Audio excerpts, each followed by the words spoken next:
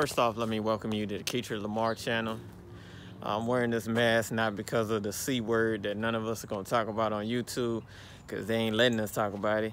Um, but because of this crazy pollen out here in Virginia, I'm wearing this to keep from actually sneezing through the whole damn video. So, that being said, we're going to check the car out.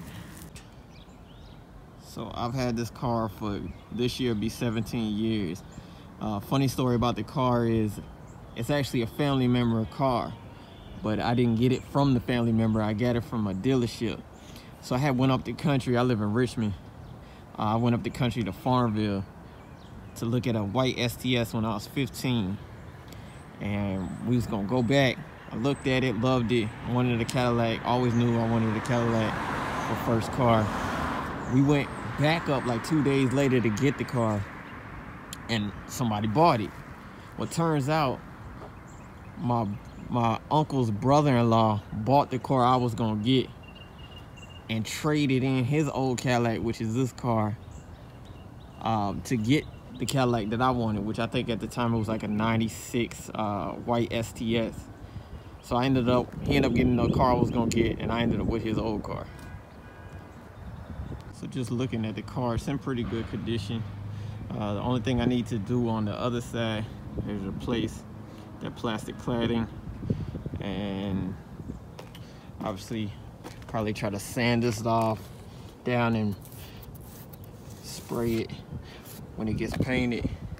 But other than that, like body wise, ain't not really any damage on to the car.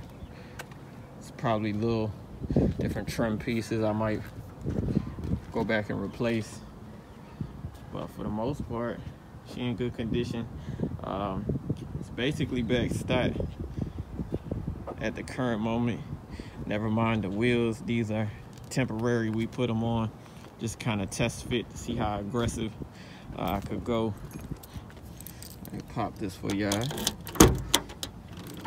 And as you see, I got the two kicker old school kicker L7 uh, in the trunk this will probably eventually be a, a, custom setup just because I'm gonna have to redo some stuff in the trunk. So that has to be redone. Roof, so there's no point in me replacing the headliner anytime soon. Um, I'm not going the OG color, but I'll probably just redo this interior some nice color to match the outside of the car. Uh, I am doing it uh, original Cadillac color. However, the Cadillac color did not come on uh, this style car. So it should be should be a good look. Um, but yeah, man, let's start talking about, I think we got enough footage of this. Start talking about the plans. Yeah, yo, I'm inside. I'm sorry, man. The wind was crazy out there. Pollen's blowing around everywhere, and I that mask was making me hot. So I came inside so y'all could probably hear me a lot better also. Uh, I didn't get a chance to tell y'all while I was outside. Um, the car will be LS4 swapped. That's the whole point of this project is to do something completely different. I know it looks like a grandpa car, but at the end of the day, that's my baby, man. I've had that car, like I said, since I was 15. I'll be 33 uh, at the end of this year. I've put 22s on the car. I've taken them off. I had another set of 22s on it. I took them off again. I put the stocks on. I wrote 18s. It didn't matter. Like the car's always been slow. At one point, it was looking real. It was looking nice. I ain't gonna lie. Um, but you know, my taste changed a little bit too with age. But I've always been a fast car, uh, race car type guy. You know what I'm saying? Um, but the car's just slow. Like out the box, the the 4.5 liter. I want to say when it rolled off the lot in 1989. It's a 90. Uh, it had 185 horsepower, which is not anything. Like it's a pretty, it'll get you where you need to go, but not fast. And you know that's the only complaint I've ever had about that car. So with me loving the car and keeping the car forever, this is not about me getting a return on my investment or any of that stuff that most people would try to say you're wasting your money. You right, I am wasting my money, but I'm wasting my money how I want to waste it. I'm not hurting nobody. I don't do drugs. I don't smoke. I really don't drink. So this is this is that for me. Like I don't really shop like that. So this is my having fun playing with cars like I have my whole life. Uh, just stay real now. So if y'all don't know about the LS4, uh, the LS4 is the only LS motor by Chevy that was a front wheel drive. Uh, if you don't know my car's front wheel drive, that was a front wheel drive engine. Um, it does share a lot of the parts from the other LS motors. Uh, just, you know, with it being mounted sideways and being front wheel drive, that's the only difference in the motor. Um, so even if I just dropped the stock LS4 in there, it would have already almost doubled the horsepower that my car has currently.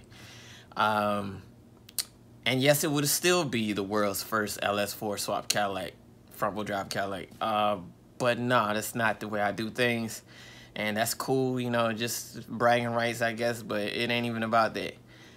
So I'm actually, the motor's been purchased and being built currently by Brandon Furches.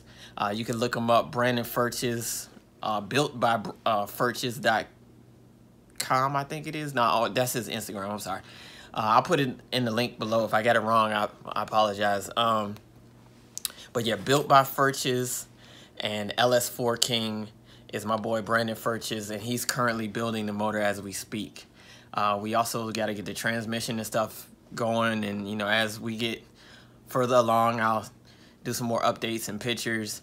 Um, but he is building the motor. The motor will not be stock.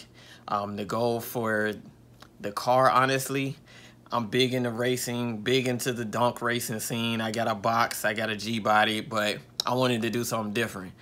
So there is no front wheel drive in the donk racing scene, but this will be a car that's in there.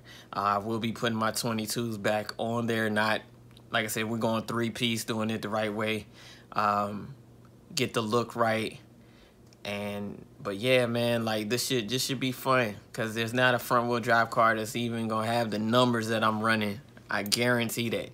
Um, except for Brandon, I ain't even fooling with him. If you look him up, he has the world's fastest LS4 car currently. I think he's making 786 horsepower. Um, he probably at 800 by now, but you know. Um, but yeah, so that's the plan. Hope to see y'all soon. Y'all stay tuned for this. This is really happening, okay? See y'all next time.